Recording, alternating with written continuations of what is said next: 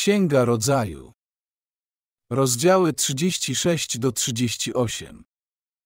Rozdział 36. Oto potomkowie Ezawa, czyli Edomu. Ezaf wziął sobie żony spośród mieszkanek Kanaanu, Ade, córkę Eloune Hetyty, Ocholibamę, córkę Hiwity imieniem Ana, wnuczkę Sibeona i Basmat Izmaelitkę, siostrę Nebajota.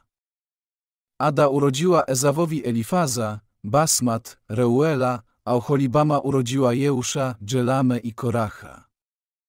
Są to synowie Ezawa, którzy mu się urodzili w kraju Kanan. Ezaf, zabrawszy swoje żony, synów i córki, całą czelać swego domu, swoją trzodę i wszystkie zwierzęta oraz całe mienie, które sobie nabył w Kanaanie, udał się do ziemi Syr daleko od swego brata Jakuba, gdyż zbyt liczne mieli stada, aby mogli być razem. Kraj, w którym przebywali, nie mógł im wystarczyć ze względu na ich mienie. Ezaf osiedlił się na wyżynie Syr. Ezaf to Idem. Oto potomkowie Ezawa, praujca Edomitów, na wyżynie Syr. Oto imiona synów Ezawa, Elifas, syn Odi, żony Ezawa, i Reuel, syn Basmat, żony Ezawa. Synami Elifaza byli Tejmyn, Omar, Sefo, Gatam i Kenas. A Timna, która była drugorzędną żoną Elifaza, syna Ezawa, urodziła mu Amaleka. To są potomkowie Odi, żony Ezawa. Oto synowie Reuela, Nachat, Zerach, Szamma i Micca. Byli to potomkowie Basmat, żony Ezawa. A oto ci byli synami żony Ezawa, Ocholibamy, córki Eni, wnuczki Sibeona, urodziła ona Ezawowi Jeusza, Dżelamę i Koracha. Oto potomkowie Ezawa, czyli synowie Elifaza, pierworodnego syna Ezawa, naczelnicy szczepów, Tejmyn, Omar, Sefo, Kenas. Korycz, Gatam i Amalek. Są to naczelnicy szczepów w kraju Idem, synowie Elifaza, potomkowie Odi. Oto synowie Reuela, syna Ezawa, naczelnicy szczepów, Nachat, Zerach, Szamma i Micca. Są to naczelnicy w kraju Idem, synowie Reuela, potomkowie Basmat, żony Ezawa. Oto synowie Ocholibamy, żony Ezawa, naczelnicy szczepów, Jeusz, Jalam i Korycz. Są to naczelnicy szczepów, potomkowie Ocholibamy, żony Ezawa, a córki Eni. Są to potomkowie Ezawa, a zarazem naczelnicy ich, czyli Edomitów. Oto synowie Sejra, Choryty, mieszkańcy pierwotni i tego kraju, Latyn, Szobal, Sibeon, Ana, Dishon, Eseje i Dishan. Ci są naczelnikami szczepów, Choryci, synowie Sejra w kraju Idem. Synami Lotana byli Kori i Hemam, siostrą zaś Lotana, Timna. Oto synowie Szobala, Alwen, Manachat, Ebel, Szefo i Onam. Synowie Sibeona, Aja i Ana. Ten to Ana znalazł gorące źródła na stepie, gdy pasł osły Sibeona, swego ojca. A oto dzieci Eni, Dishon i Ocholibama, córka Eni. Synowie Dishona, Hemdan, Eszban, Jitran i Czeran.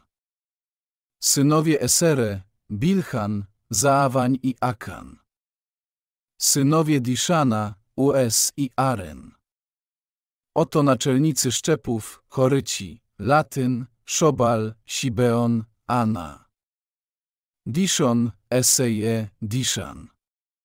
Są to Choryci, naczelnicy szczepów choryckich w kraju Syr. Oto królowie, którzy panowali w kraju Idem, zanim Izraelici mieli króla. W Edomie był królem Bela, syn Beora, nazwa jego miasta Dinhaba. A gdy umarł Bela, królem był po nim Jobab, syn Zeracha z Bosry. Gdy zaś umarł Jobab, po nim królem był Huszam z ziemi Temanitów. Gdy umarł Huszam, po nim królem był syn Bendada, Haded, który zadał klęskę Madianitom na równinie Moabu, nazwa jego miasta Awit. Po śmierci Hadada, po nim królem był Samla z Masreki.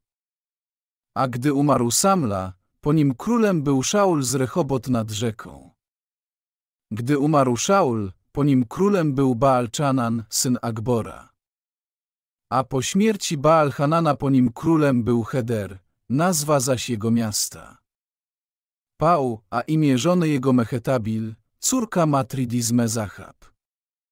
Oto imiona naczelników szczepów Ezawa według ich szczepów i miejscowości, nazwanych ich imionami Timna, Alwa, Dżetet, Ocholibama, Ela, Pynien, Kenas, Tejmyn, Mipsar.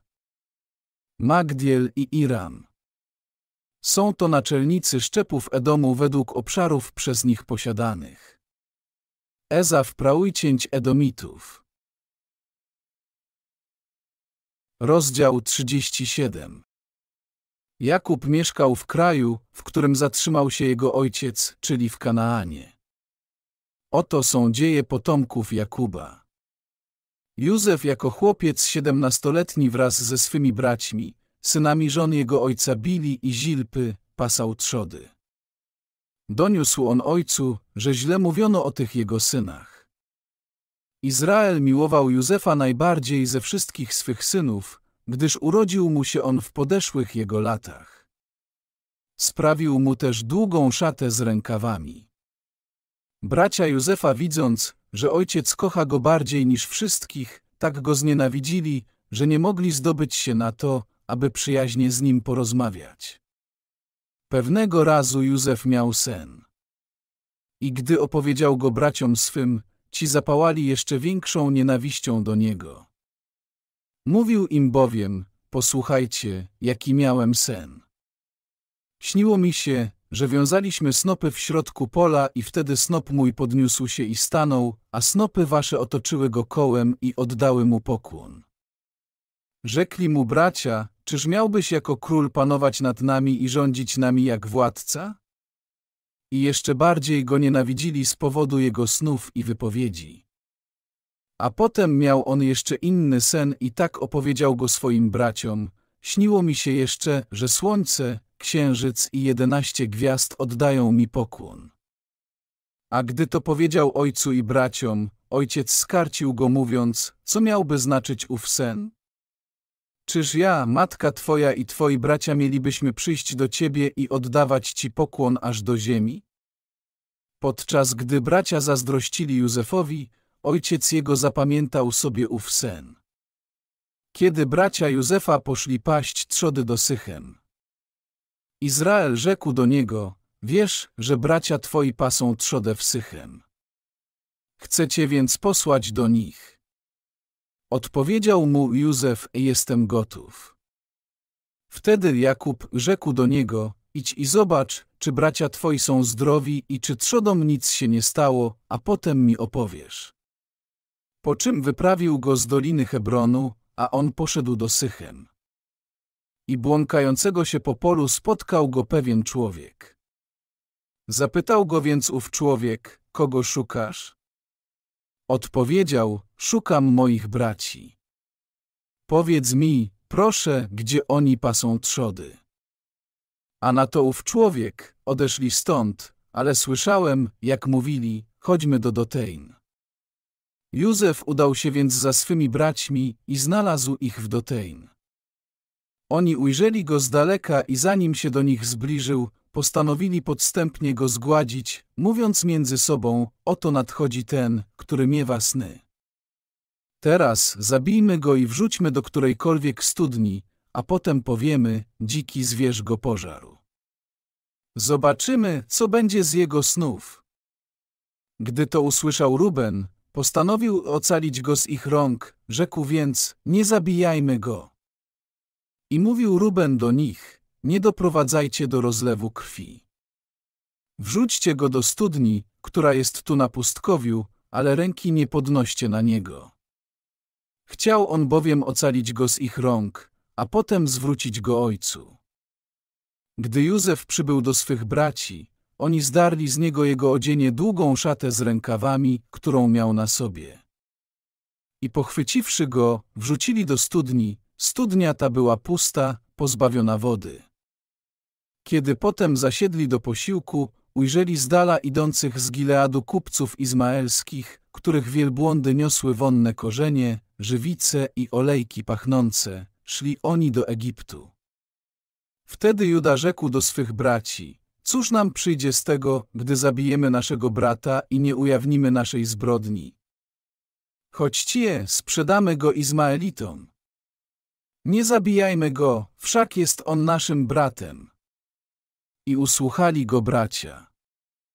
I gdy kupcy madianiccy ich mijali, wyciągnąwszy spiesznie Józefa ze studni, sprzedali go Izmaelitom za dwadzieścia sztuk srebra, a ci zabrali go z sobą do Egiptu.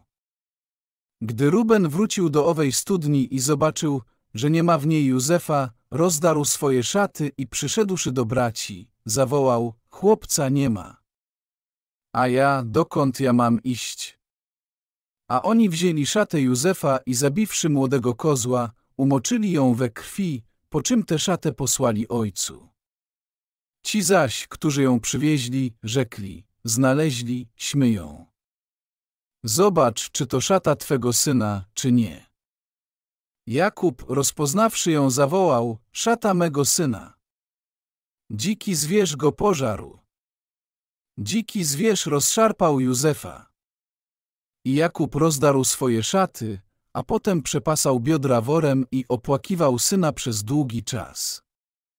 Gdy zaś wszyscy jego synowie i córki usiłowali go pocieszać, nie słuchał pociech, mówiąc, już w smutku zejdę za synem moim do Szeolu. I ojciec jego nadal go opłakiwał. Tymczasem Madianici sprzedali Józefa w Egipcie Potifarowi, urzędnikowi faraona, przełożonemu dworzań.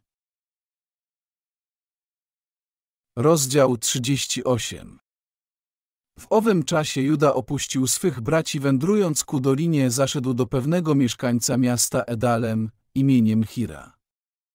Ujrzawszy tam córkę pewnego Kananejczyka, noszącego imię Szua, wziął ją za żonę i zbliżył się do niej.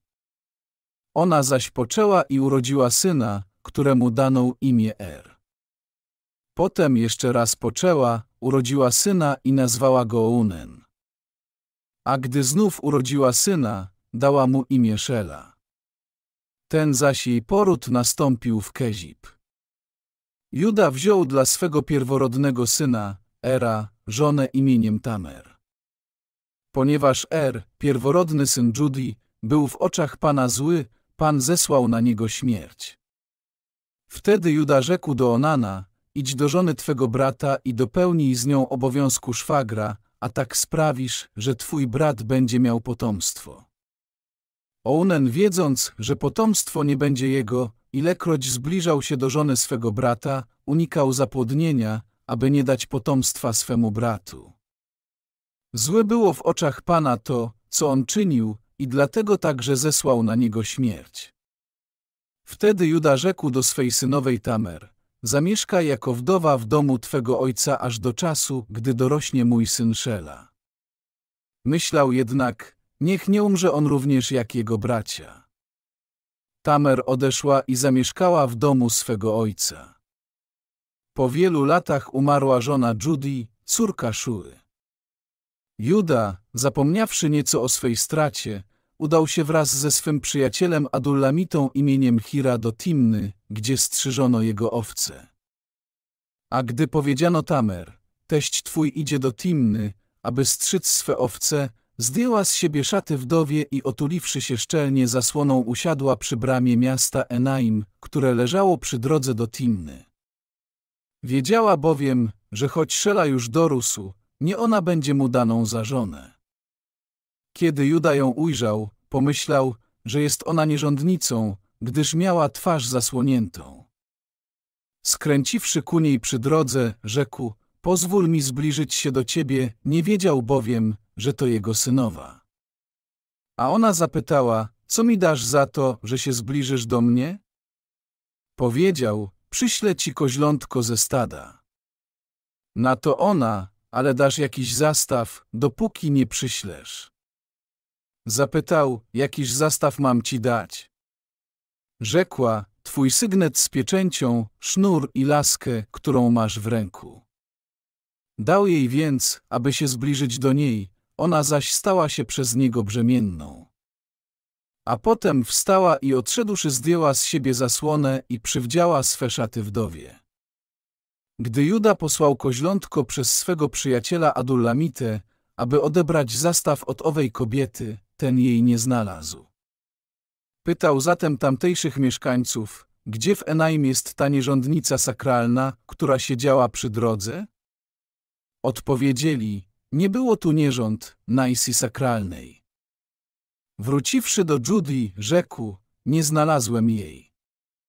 Także tamtejsi mieszkańcy powiedzieli, nie było tu nierządnicy sakralnej. Wtedy Juda rzekł, niech sobie zatrzyma.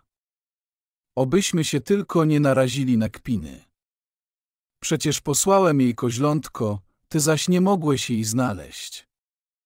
Po około trzech miesiącach doniesiono Judzie, twoja synowa Tamer stała się nierządnicą i nawet stała się brzemienną z powodu czynów nierządnych. Juda rzekł, wyprowadźcie ją i spalcie.